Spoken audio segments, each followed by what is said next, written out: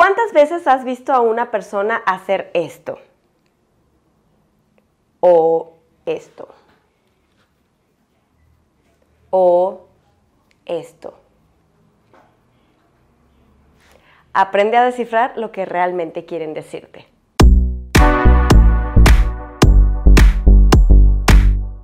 Hola amores, bienvenidos a un nuevo video. Mi nombre es Isa y el día de hoy quiero compartirte 13 gestos que te ayudarán a descifrar lo que las personas realmente quieren decirte. Quédate hasta el final porque esto te ayudará a entender mucho mejor a las personas.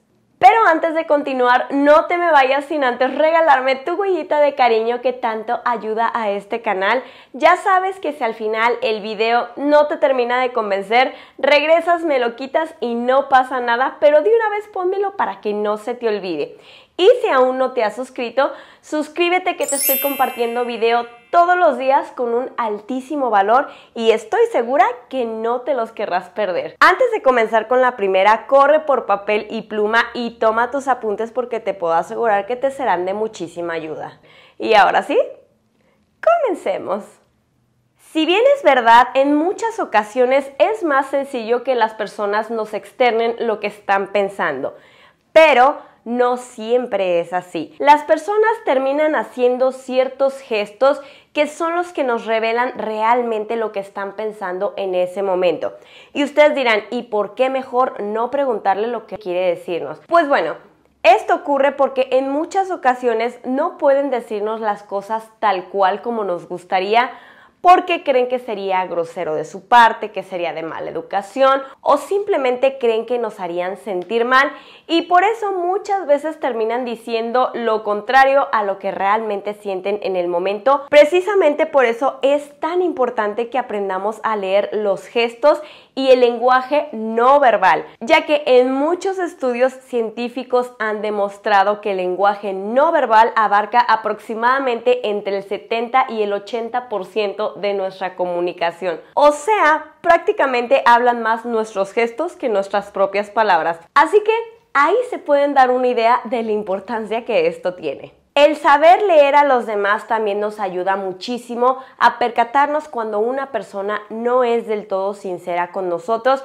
porque de esta manera podemos ahorrarnos muchísimo tiempo si queremos evitarnos malos momentos e incluso ciertas traiciones que nos toman desprevenidos porque obviamente no las esperamos. Pero si aprendemos a leer mejor a las personas, te puedo asegurar que llevarás una gran ventaja. Así que comencemos con la primera. Cuando notes a una persona que te mira como hacia abajo, quiere decir que te está viendo con superioridad. Pero tranquilos porque esto no siempre significa algo malo. Muchas veces cuando estamos platicando con alguien y de repente sacamos un tema del cual esa persona conoce bastante, inconscientemente la persona se puede sentir tan segura de que conoce sobre el tema que toma esa postura y hay algo que nosotros podemos hacer en vez de tomarlo por el lado negativo y ponernos como a la defensiva y demás, podemos aprovechar para preguntarle ciertas cosas y aprender más sobre el tema. Te puedo asegurar que esa persona se va a sentir halagada e importante. Así que tú podrás irte de esa plática con un mayor conocimiento sobre cierto tema y esa persona se habrá sentido útil de poder externar su conocimiento. Pero,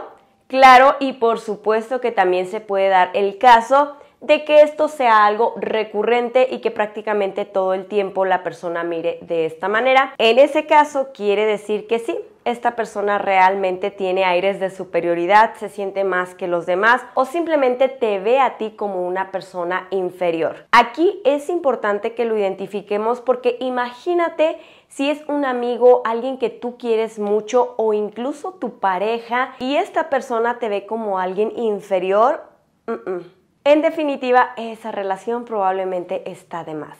Dos, Cuando notes que una persona haga este gesto, quiere decir que esa persona está totalmente segura de lo que está hablando o de lo que está diciendo. Es importante reconocerlo porque también esto a ti te da la certeza de que esa persona sabe de lo que está hablando, o sea, no te está inventando un choro, no te está diciendo las cosas por decirlas, sino que realmente tiene conocimiento de lo que te está compartiendo. Y si identificas esto, puedes prestar aún más atención porque puedes irte con conocimientos nuevos y muy interesantes. 3.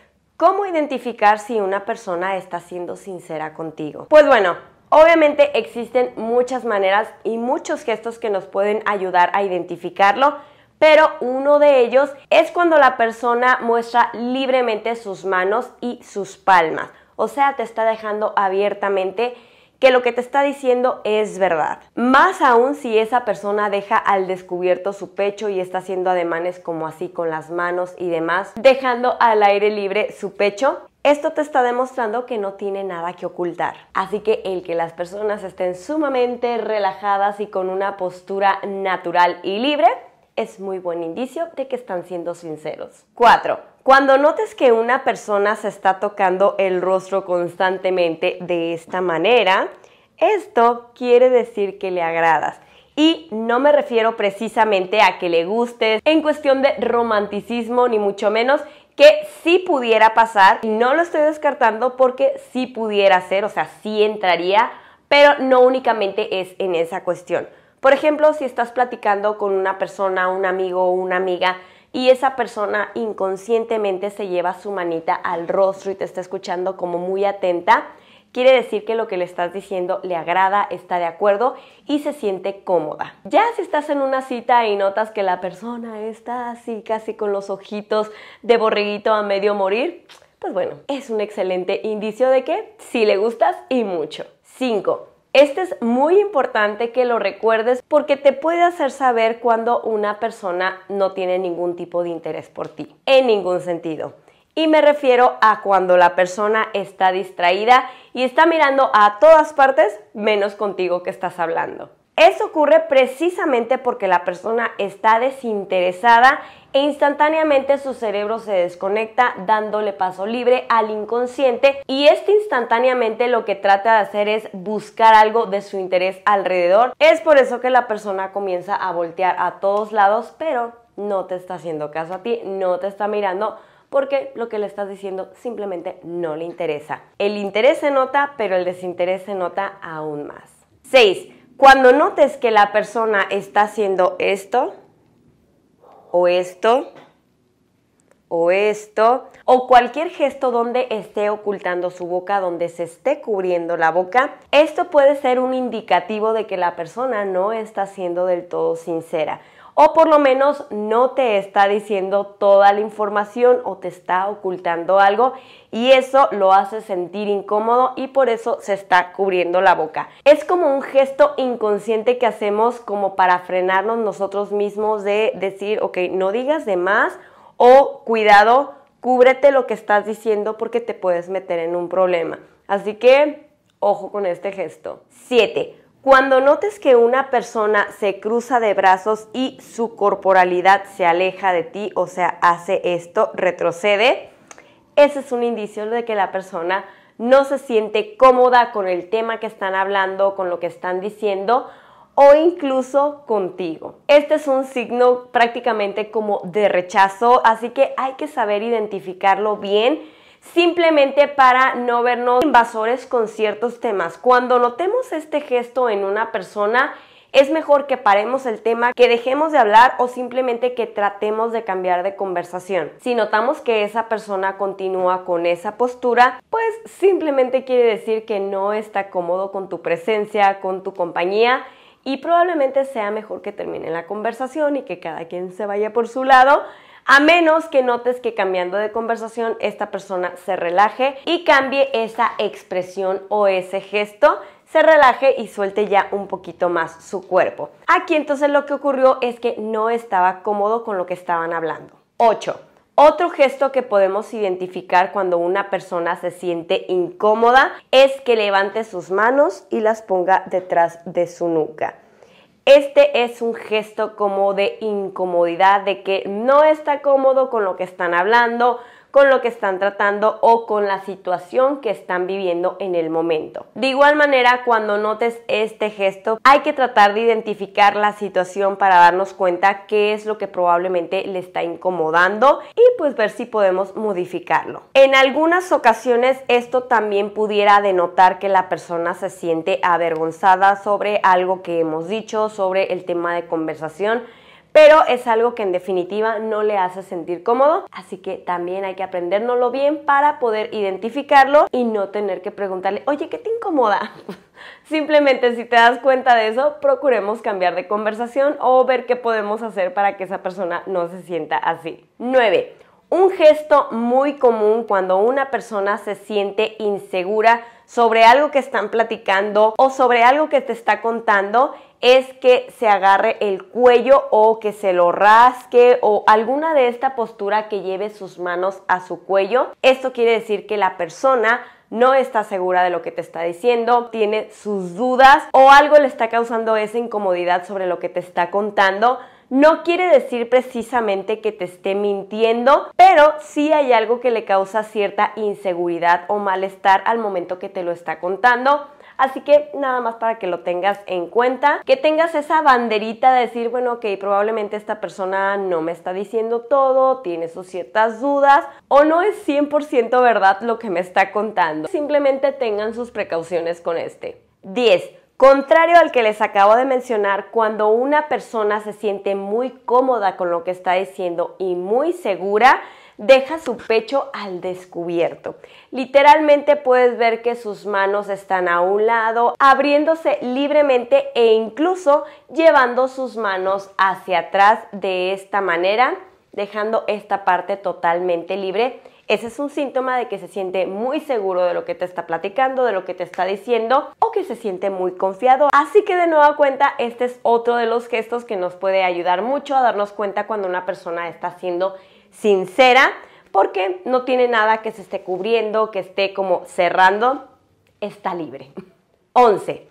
Esta también apúntala porque es muy, muy importante. Cuando una persona quiere convencerte de algo o que creas algo de lo que te está contando, esa persona va a tratar de mirarte fijamente a los ojos pero no de una manera que lo sientas como honesto, que lo sientas real, sino de una manera prácticamente robotizada que te vea así como estoy siendo sincero, de verdad estoy siendo sincero.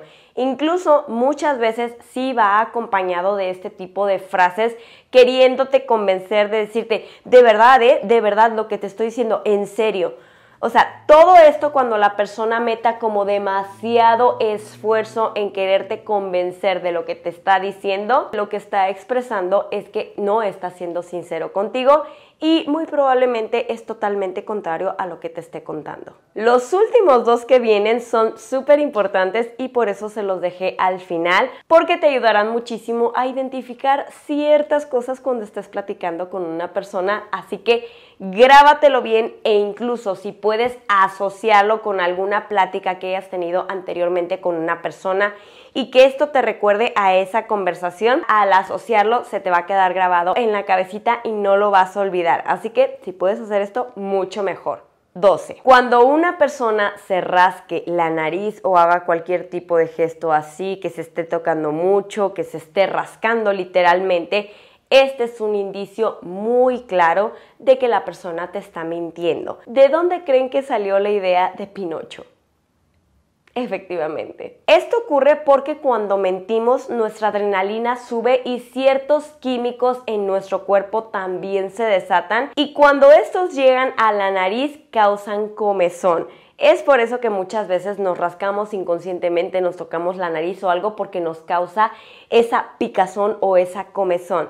De hecho, en muchas ocasiones se puede llegar a hinchar esa zona y es precisamente por la irrigación sanguínea que estamos teniendo por la reacción química de estar mintiendo. Así que cuando notes a una persona que te está platicando, que te está contando algo, en lo cual puedas asociarlo de que esa persona te está mintiendo, pues es un muy buen gesto para grabártelo e identificarlo. Te digo esto porque obviamente también pudiera ser por otros factores que la persona se esté tocando o rascando la nariz, por ejemplo, si es alérgico a algo o están en un lugar con mucho polvo, hay mucho polen o no sé, diferentes cosas. Pero si la situación en la que te encuentras cabe la posibilidad de que esa persona te esté mintiendo, entonces ahí sí es muy buena señal para que te puedas percatar de que sí, en efecto, te está mintiendo. Y por último, 13, pero como siempre, no menos importante, cuando una persona quiera imponerte algo, un cierto tema, alguna creencia o cualquier cosa, esa persona va a poner sus manos doblando sus brazos en la cintura. De esta manera, o sea, cuando las manos están al frente, poniéndolo de esta manera bien recto y sacando el pecho. Esta es una posición dominante. Cuando notes que una persona haga este gesto es porque te está tratando de imponer su creencia, su pensamiento o cualquier cosa que entre dentro de la situación en la que estés pero en definitiva es porque quiere imponerte algo. Truchos con esta porque también puede ser un signo de que la persona te quiere intimidar para hacerte cambiar de opinión o hacerte sentir como inseguro en ciertas cuestiones. Todo depende de la situación en la que te encuentres, así que es importante también identificarla. ¿Qué tal? Interesante, ¿verdad? Cuéntame en la parte de los comentarios qué opinas al respecto cuál de estas ya las conocías, cuál te sorprendió o incluso más interesante aún, a qué te recordó si llegaste a tener alguna charla con alguien que digas, oh my god, a mí me pasó esto y la verdad es que nunca me imaginé lo que significaba. Cuéntanoslo en la parte de los comentarios porque es súper interesante y a mí me encanta leerlos. Así que bueno amores, yo los veo para el próximo video y les mando un beso enorme. Hasta la próxima chicos. Bye.